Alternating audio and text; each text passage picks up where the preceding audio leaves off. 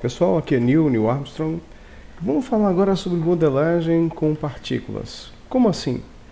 Bom, a gente pode usar partículas para fazer determinados tipos de modelos, como se fosse uma espécie de efeitos especiais. Por exemplo, colocar em front, ortho, para enxergar melhor. Eu quero fazer uma cidade. Vou começar com esse cubo, colocar ele aqui na parte de cima. É, GZ1, Enter, que ele fique exatamente uma unidade acima. Eu vou dar um Ctrl R para criar. Eu teclei essa aqui para criar um, um corte aqui no meio e aí eu tenho tcharam, uma casinha. Uh, vou na minha guia de materiais, tá? Qual é a ideia? Vou fazer algumas casas e depois eu vou construir uma cidade inteira baseada nessas casas.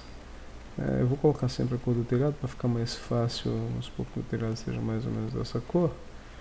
E aí eu vou criar um novo material para ser a cor da casa, vamos supor que seja esse. O que eu tenho que fazer agora é, caso para não complicar, eu seleciono o teclado, teco Ctrl I, selecionei o resto, teclei Assign opa, assign aqui e pronto, eu tenho uma casinha dessa cor. É claro que você pode fazer um, um, uma história bem mais interessante, mais complexa, usar textura. A ideia aqui é apresentar a questão das partículas mesmo. Eu dou um Shift D, X, posso mudar agora a minha casa, por exemplo, é, S, diminuir um pouquinho, SX, só é interessante eu mudar esse material aqui, até com no 2 lá ele vai ficar de, com um material diferente. eu vou colocar minha casa mais amarelada. Tem um outro segundo tipo de casa, é interessante dar um Ctrl A Rotation and Scale para que ele fique com uma escala 1, 1, fica mais fácil de compreender esse tipo de rotação. Aí vamos supor que eu tenho aqui mais casas é, desse tipo Shift DX, desse Shift DX, tem um outro tipo, posso ter aqui uma casa maior, que inclusive não precisa ter essa altura. Né? Eu posso trocar mais uma vez esse material para uma outra cor, colocando cores aleatórias aqui tá? SY, Ctrl A, Rotation Scale.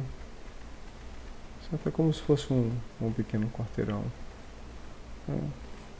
Vendo de cima, tem várias formas de formatar esse, essa ideia. Shift D, Shift D, Shift D. No caso aqui eu poderia ter uma casa para cá. Não precisa necessariamente ser um quarteirão. Tem várias formas de usar isso aqui.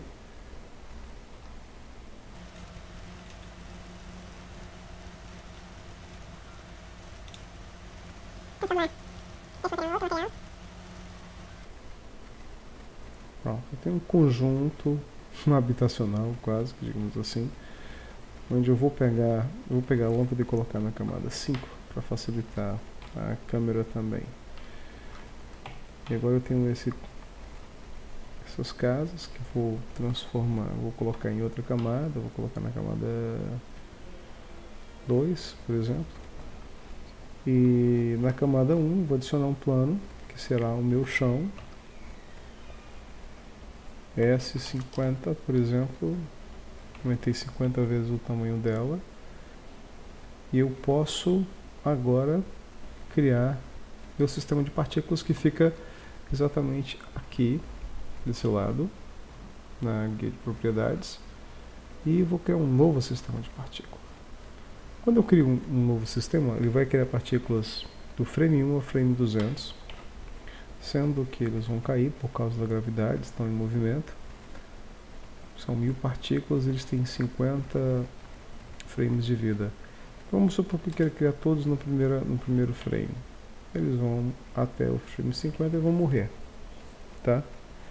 No caso que eu quero, para fins daquilo que eu necessito realmente, é, embora eu tenha um lifetime, independente do lifetime aqui, eu quero, onde tem física, dizer nenhuma, não quero nenhuma física interagindo com minhas partículas. E no render eu quero que ele mostre os mortos, died. Pronto, então vai ficar assim para sempre, tá? Voltando para cá, eu preciso usar essas casas como partículas, tá? E para isso, eu posso usar de uma por uma, posso selecionar todas elas aqui, dou um Ctrl G, ele cria um grupo que eu posso dar um nome aqui, casas GRP, casas group.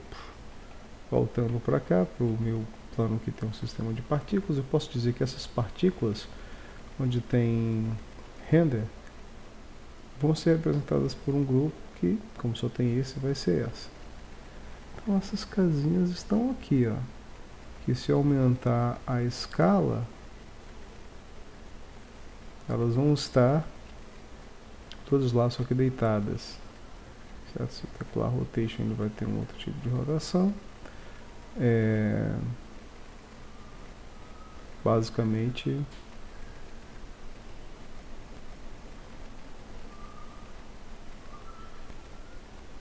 posso dizer que não há nenhum tipo de rotação e aí o que, que acontece? Ficam todas as minhas casas lá, bem distribuídas como a cidade. O interessante disso, em primeiro lugar, é que eu posso subdividir essa minha malha o máximo de cortes possível e depois eu posso teclar aqui letra O, G, aumentar a influência e sair construindo. De repente tem uns morros né, em alguns instantes tá, e fazer com que o terreno fique irregular. E as casinhas vão estar lá.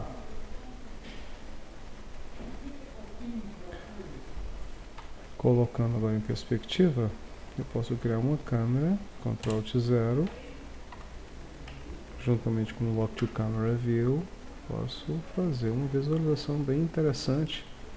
É claro que eu vou acessar novamente a minha lâmpada aqui e a câmera, eu vou preciso colocar, vai estar a 500, está aqui 2 2 quilômetros.